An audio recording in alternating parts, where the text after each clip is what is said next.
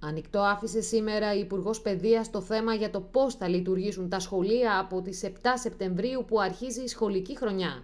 Πλησιάζει η έναρξη του νέου σχολικού έτους.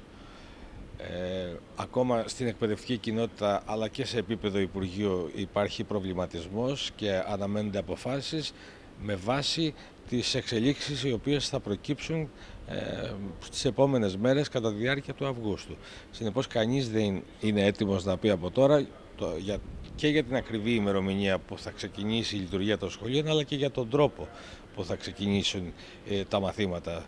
Ε, εκείνο που είναι σίγουρο είναι ότι τόσο σε επίπεδο Υπουργείου αλλά και κυρίως τόσο σε επίπεδο εκπαιδευτικής κοινότητας πλέον ε, υπάρχει ε, το προηγούμενο, υπάρχει η προηγούμενη εμπειρία, συνεπώς ε, είμαστε σε καλύτερη θέση σε σχέση με αυτό που είχαμε να αντιμετωπίσουμε τους προηγούμενους μήνες όταν πρώτο ξεκίνησε η ιδιαίτερη αυτή κατάσταση με τον κορονοϊό και τότε δεν μπορούσαμε να γνωρίζουμε τον τρόπο που θα το αντιμετωπίσουμε.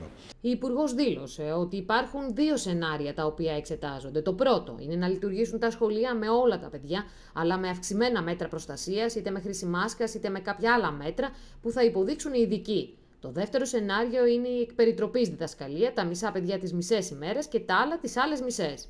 Α ελπίσουμε όμως ότι τα πράγματα ε, θα εξελιχθούν ομαλά, ε, δεν θα υπάρξει έξαρση έτσι ώστε τα σχολεία να ξεκινήσουν με τον τρόπο που τα γνωρίζουμε στις αρχές του Σεπτέμβρη και να έχουμε μια καλή και χωρίς ιδιαίτερα προβλήματα σχολική χρονιά. Παρ' όλα αυτά όμως πρέπει να είμαστε έτοιμοι για να αντιμετωπίσουμε οποιαδήποτε κατάσταση. Και σε αυτό το βαθμό ε, κινείται θεωρώ και το Υπουργείο Παιδείας αλλά και η εκπαιδευτική κοινότητα στο σύνολό της αναφερόμενος και στις τοπικές διευθύνσεις εκπαίδευσης αλλά και στους εκπαιδευτικούς διευθυντές σχολείων και ούτω καθεξής. Οι τελικές αποφάσεις θα ληφθούν σε συνεργασία με την Επιτροπή Λοιμοξιολόγων λίγες ημέρες πριν την έναρξη της σχολικής περίοδου, πιθανότατα στα τέλη Αυγούστου.